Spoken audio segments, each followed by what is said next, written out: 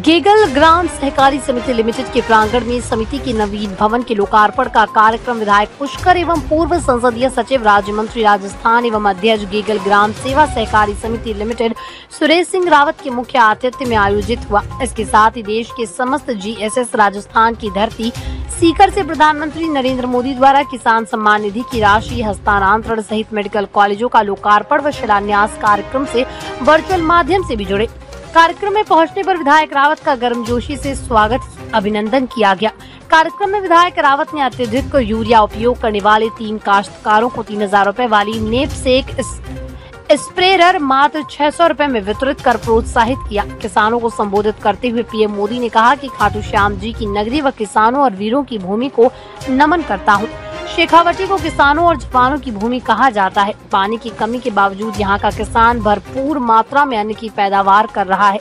उन्होंने कहा कि आज़ादी के बाद हिंदुस्तान में पहली बार ऐसी केंद्र की सरकार बनी जो किसानों के साथ कंधे से कंधा मिलाकर काम कर रही है। विधायक सुरेश रावत ने कार्यक्रम में प्रधानमंत्री नरेंद्र मोदी के नेतृत्व वाली केंद्र सरकार की उपलब्धियाँ बताते हुए कहा कि प्रधानमंत्री नरेंद्र मोदी द्वारा राजस्थान की धरा सीकर से पूरे भारत देश में किसान सम्मान निधि की चौदहवीं किश्त के देश के नौ करोड़ किसानों के खातों में बीस हज़ार करोड़ की राशि वितरित की गई है।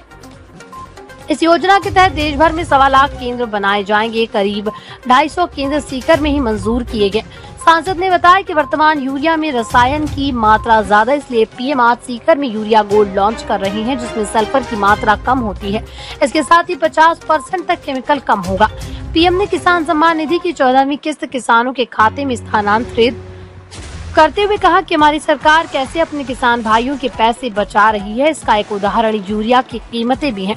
हमारी सरकार ने कोरोना और यू, रूस यूक्रेन युद्ध का असर किसानों पर नहीं पड़ने दिया। आज देश में यूरिया की जो बोरी दो में देते हैं वही बोरी पाकिस्तान में करीब आठ सौ में मिलता है। बांग्लादेश में 720 और चीन में इक्कीस सौ की मिलती है। अमेरिका में यूरिया की ये बोरी तीन ऐसी ज़्यादा की मिल रही है। अंत में विधायक रावत ने आह्वान किया कि नरेंद्र मोदी के नेतृत्व वाले जन कल्याणकारी केंद्र की सरकार को और मज़बूत बनाने वाले, आने वाले विधानसभा और लोकसभा चुनाव के कमल के फूल वाली भाजपा को ही जताना है।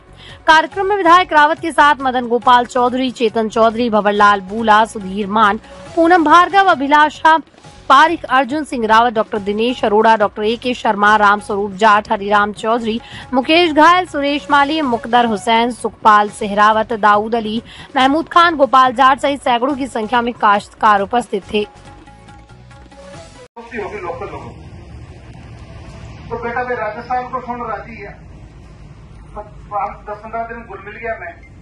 तो अब फ़ोन कहते कहते यार के बढ़िया क्यों भाई गेहूँ तो खाकर सबसे ज़्यादा तो पंजाब में हुआ है सबसे ज़्यादा गेहूँ पंजाब में हुआ है तो वो कह रहे कि साहब, पंजाब का गेहूँ तो वैसा में राजस्थान में। और बी गाड़ी में राजस्थान में पच्चो काम पच्चो गेहूँ राजस्थान को पटक लिया बी गाड़ी गाड़ी पर आवे पंजाब अपनी मंडी में भेजे, और वे घर में खावा की खाकर अठा को आप गेहूँ ले जा रहा तो दे रहे होते तरह तो आपने भी तो ज़्यादा से ज़्यादा जो उपयोग है जवार बाजरा की रोटी है ना? आप बड़ी बड़ी होटल में जावा तो मेडिकल भाई में कही है। तो कह रही नहीं है जगह तो। बाकी तो सारी दवाई है। तो, और आप बेटा करो नहीं तेरा तो इसलिए एक समझदार की बात है। उपयोग करना चाहे और आज प्रधानमंत्री जी किसान समृद्धि केंद्र तो आज ऑनलाइन उद्घाटन किया। इक्कीस में बहुत बहुत शुभकामनाएँ दें और अपना आसपास का काफ़ी लोग आप बता रहे हैं तो सारा लोग किसान लोग बाहर में देख भी लियो जो स्टॉक अधिकारी है मैं तो भाई